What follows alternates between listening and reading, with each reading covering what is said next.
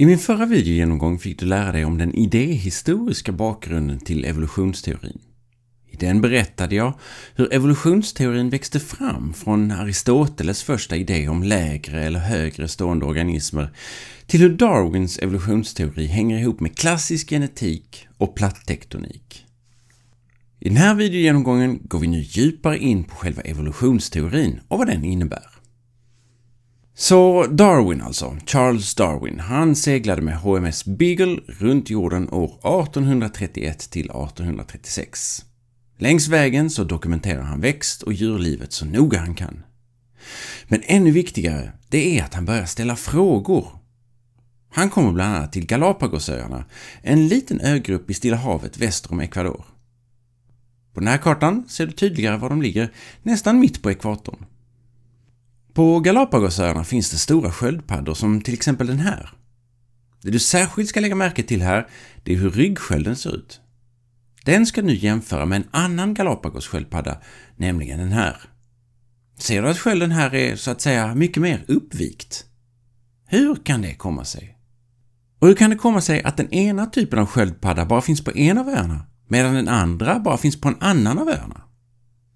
På öarna finns också ett stort antal finkar, finkar som idag kallas för Galapagosfinkar eller faktiskt Darwinfinkar. Han noterade att trots att de hade mycket olika form på näbben var de mycket lika varandra. Näbbarna verkade vara specialanpassade för att kunna knäcka nötter eller fånga insekter men ändå tillhörde de samma släkte. Det här fick Darwin att börja tvivla på att alla arter var oföränderliga. Istället är det så att en ursprunglig art har anlänt från fastlandet och sen utvecklats åt olika håll. Det kunde de göra tack vare att det inte fanns några fåglar på öarna tidigare, så att det fanns ett stort antal lediga ekologiska nischer att fylla. Jag pratar mera om ekologiska nischer ska jag också säga i min videogenomgång om samhällsekologi, se länken här uppe till höger. Det tog tid för Darwin att sammanställa alla sina resultat när han väl återvänt till England. Inte förrän 1859 kom hans avgörande verk ut, On the Origin of Species by Means of Natural Selection. Eller, som den fick heta på svenska, Om arternas uppkomst genom naturligt urval. Vad är då den här evolutionsteorin som Darwin lägger fram? Vad bygger den på?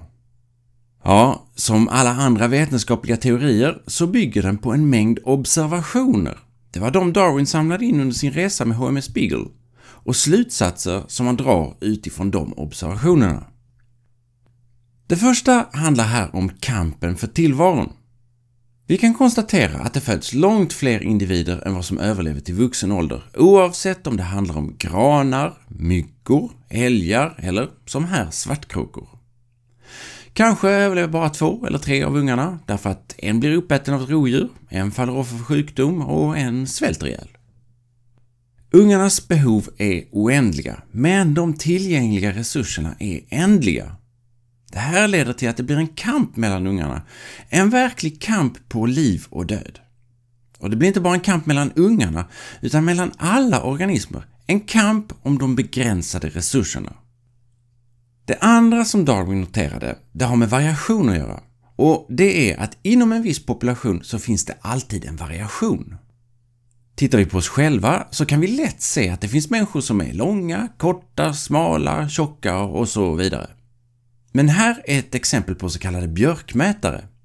De förekommer naturligt i olika varianter, till exempel nästan helt svart här och mera gråvit spräcklig här. Den här variationen plus kampen för tillvaron leder till att olika individer får olika fitness. Och det där begreppet fitness, det är ett utomordentligt viktigt begrepp, så det ska vi grotta ner oss i en stund. För det första vill jag poängtera att det biologiska begreppet fitness inte har någonting att göra med kroppslig styrka, kondition eller så. Därför tar jag och stryker ett stort rött kryss över den här muskulösa bodybuildern. Nej, inom biologin har fitness snarare att göra med den andra betydelsen hos det engelska fit, nämligen att passa in. Då är det så här att den individ som har högst fitness, den är också bäst anpassad till sin miljö. Det leder till att den har störst chans att para sig och få avkommor. Om vi till exempel tittar på de här björkmätarna igen så kan vi konstatera att i den här miljön har den gråvitspräckliga björkmätaren ett mycket bättre kamouflage än den svarta. Därför har den mycket större chans att klara sig undan en hungrig fågel än den svarta och därmed också mycket större chans att överleva tillräckligt länge för att hinna para sig och få ungar. I den här miljön har alltså den spräckliga björkmätaren högst fitness. Men om miljön ändras, till exempel genom att stammarna blir mörkare, det har hänt, så blir det istället den svarta björkmätaren som får högst fitness och har störst chans att föra sina arvsanlag vidare till nästa generation. Och då kommer vi in på den tredje grejen här och det är ärftlighet.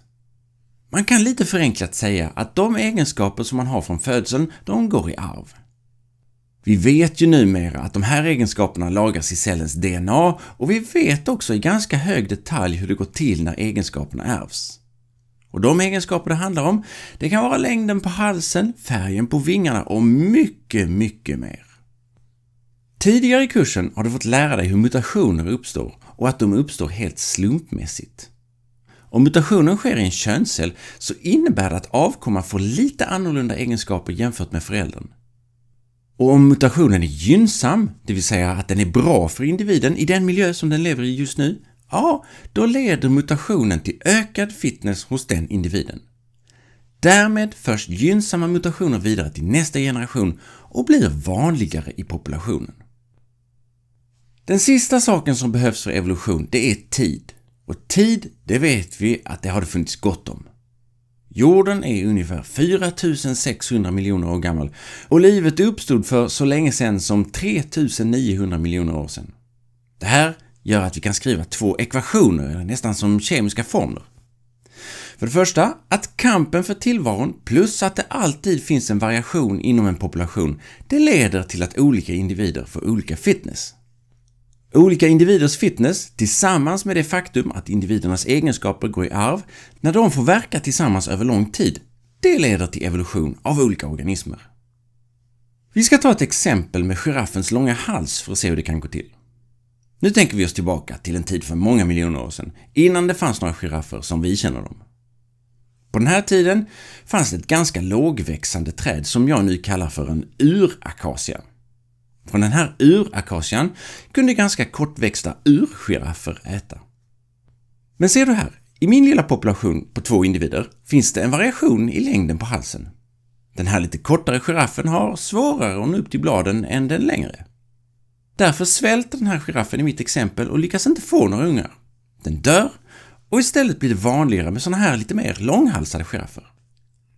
Men nu händer det skojiga att även akacian blir högre och högre för att komma undan de betande girafferna.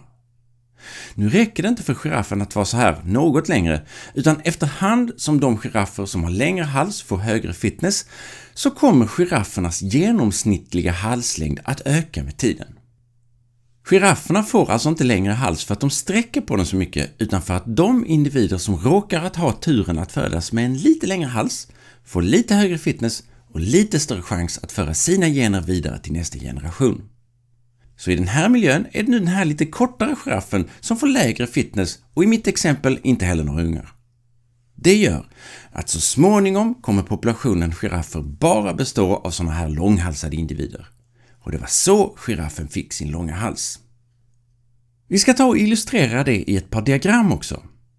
I det första diagrammet här till vänster ritar vi upp antal individer på y-axeln och längden på halsen på x-axeln. Lämna plats för ytterligare ett diagram här till höger. I populationen kommer det att finnas individer med olika längd på halsen.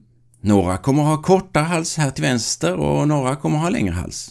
Men de allra flesta individerna kommer att ha en halslängd nära medelvärdet. En sån här kurva kallas för en normalfördelningskurva. Men vad händer då om miljön förändras så att det plötsligt blir mer gynnsamt att ha en längre hals? Nu tar jag och ritar upp det andra diagrammet här, men vänta du med att rita av det en liten stund. Nu blir det nämligen animering.